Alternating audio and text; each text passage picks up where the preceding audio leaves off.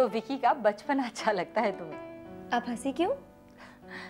हर औरत को पहले अपने मर्द का बचपन अच्छा लगता है। पर बाद में जब हर रोज डील करना पड़ता है ना तो परेशानी हो जाती है। मैं इसके बारे में ज़्यादा तो कुछ नहीं जानती। तो जान जाओगी विकी को बच्चे की तरह संभालना पड़ेगा तुम्हें। पर जो शक्ति बच्चे के साथ बरती जाती है ना वही विकी के साथ भी बरतनी पड़ेगी।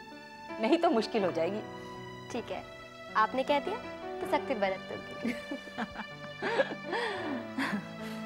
तो क्या डिसाइड किया आपने? मैं क्या डिसाइड करूँगी? जो तुम लोग को ठीक लगे वही सही है। नहीं आंटी मैं अपने बारे में नहीं आपके बारे में पूछ रही थी।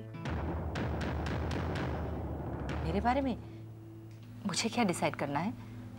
यही कि आप क्या उसी घर में उसी हैसियत से वापस आएँगी जो हैसियत आपकी पहले थी? तुम्हारा कहने का मतलब है मनु की वाइफ बनकर उस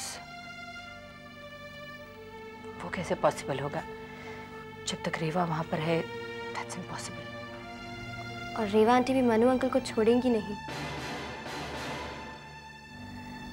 उन्होंने इतने सालों से यही तो चाहा है। अब जब सब मिल गया है तो तो किसी कीमत पर नहीं छोड़ेंगी। तुम इतने यकीन से कैसे कह सकती हो हाँ? क्योंकि रेवा आंटी ने खुद कहा था मुझसे कि आपने खत में मुझे अच्छी तरह पता है वो बात जो खत में लिखी थी। और उस बात को बार बार अच्छी तरह से इस्तेमाल किया जा रहा है। और जताया जा रहा है कि मैंने यही चाहा था। Anyway, मैं तुम्हारी बात को तुम्हारी प्रॉब्लम को समझती हूँ। मैं विकी को समझाऊँगी। तुम फ़िक्र मत करो हाँ? थैंक यू सो मच मैं चलूँ?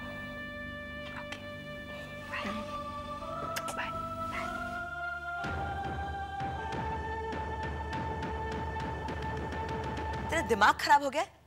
मुझे नहीं करना ये सब। तो आपको थोड़ी ना करने का। ये सब काम तो तांत्रिक बाबा का है। आप बस खाली बोलो। मैं कभी किसी तांत्रिक वांत्रिक के चक्कर में नहीं पड़ी हूँ। तो कभी ऐसा टाइम भी तो नहीं आया ना? मतलब? देखो अभी बुरा टाइम आया है तो उसे अच्छा बनाने का। इसलिए मैं आपको बोल रही हूँ। बाकी आपकी मर्ज़ी अब मैं जाती हूँ मैडम जी। सुन। जी? एक मिनट। तू जानती है उस तांत्रिक को? मैं तो कभी नहीं मिली। पर झोपड़पट्टी की कुछ औरतें उस तांत्रिक को अच्छी तरह से जानती हैं। और वो औरतें कैसे जानती हो तांत्रिक को? अरे मैडम जी उनका भी सेम ही लफड़ा था। वो एक है कमला। उसका मर्द भी इधर उधर मुँह मारता फिरता था और फरीदा उसका मर्द तो दूसरी औरत घर में लाता था। अच्छा फिर? फिर क्या? दोनों मिलके तांत्रिक बाबा के पास गई और उनका काम हो गया? वो कैसे? तांत्रिक बाबा ने ऐसा जादू किया कि कमला का मर्द है ना वो अपनी बीवी के अभी आगे पीछे घूमता है और फरीदा का मर्द उसके मर्द से तो दूसरी औरत का झगड़ा ही करा दिया। मैडम जी जादू टोना में बहुत ताकत होती है। अच्छा और अगर मुझे इस तांत्रिक को कभी मिलना हो तो मुझे क्या करना पड़ेगा? आपको कुछ करने की ज़रूरत नहीं मैडम जी। आप बस खाली मुझे बोलो। आपका काम तो यूँ ही हो जाएगा। अब नहीं नहीं गीता। मुझे तांत्रिक वांत्रिक में कोई विश्वास नहीं है। अब तुम जाके मेरे लिए कप चाय बना के लाओ। ठीक है। आपकी मर्ज़ी।